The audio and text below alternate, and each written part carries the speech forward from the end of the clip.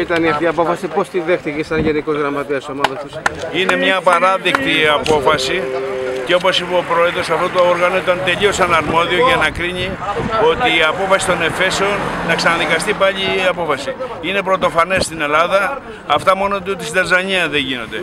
Και μια μέρα πριν την έξω του πρωταθλήματος να σου λένε γύρισε πίσω και δεν παίζεις και να έχεις κάνει ένα μπάτζετ 4-5 εκατομμύρια. Λυπάμαι που ζούμε στην Ελλάδα. Ήσουν ένα πρωτοστάτης για την κινητοποίηση από ό,τι είδαμε. Ε, ικανοποιημένο τον κόσμο. Ναι, θέλω να ευχαριστήσω τον κόσμο για αυτή την κινητοποίηση. Δεν ήμουν εγώ πρωτοστάτη. όλα τα παιδιά τη Τρίπολη, των Αστέραν Φαν. Ε, όλοι μαζευτήκαμε χθε το βράδυ και να σκεφτείτε ότι αυτή η κινητοποίηση έγινε σε μία νύχτα αποφασίσαμε και μέχρι 4-5 ώρα κάναμε τηλεφωνήματα για να έρθει αυτό ο κόσμο. Τον ευχαριστούμε και πιστεύω ότι η Τρίπολη ε, ξύπνησε πλέον. Να κάνουμε μια ευχή. Ε, μια ευχή. Ο Αστέρας, όπως είπε και ο κύριος Καημενάκης, θα παίξει στην Super League. Δεν θα ξεκινήσει το πρωτάθλημα ε, χωρίς τον Αστέρα.